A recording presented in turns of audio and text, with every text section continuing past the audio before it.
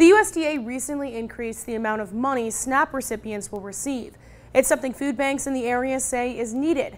However, the ones I talked to say their services will still be frequently used. If you're a recipient of the Supplemental Nutrition Assistance Program, or SNAP, you can expect an increase come October reevaluated the thrifty meal plan and the thrifty meal plan is what they base how much SNAP benefit each individual gets on. That plan hadn't been updated since 1975.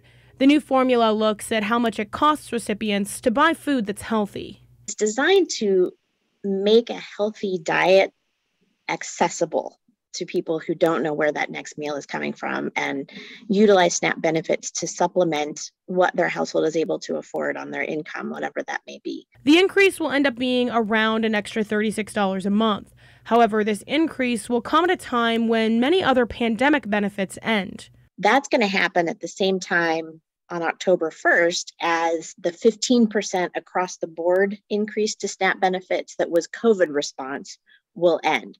Those who work with food insecure individuals say this is a step in the right direction, but that there is still work to be done. And I can't be anything but happy about it. However, I do think that more needs to be done if we want to lift people out of poverty. And with a lot of the stimulus money that happened over the um, course of the last year, people are beginning to see that. They're beginning to see that um, that we have been giving too little According to recent data from the state, there are 624,959 people in Indiana who currently receive SNAP benefits.